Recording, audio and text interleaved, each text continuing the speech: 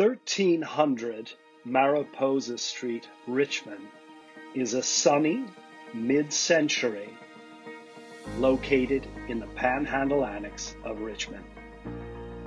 Sweet and updated, this three bedroom, one and one half bath home, all on one level, also has a large two car attached garage.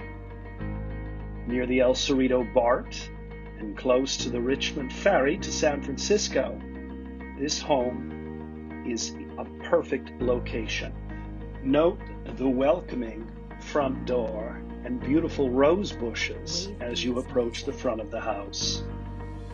At the entry, you will notice the newly refinished hardwood floors that run throughout most of the house. Living room with a charming brick fireplace is connected with the dining room and in an open format also connects to the kitchen. The kitchen has been updated with granite countertops and new sink. Freshly painted inside and out, you'll notice the easy living floor plan. Also, the recent updates to the bathrooms with new flooring, cabinets, and granite countertops and fixtures.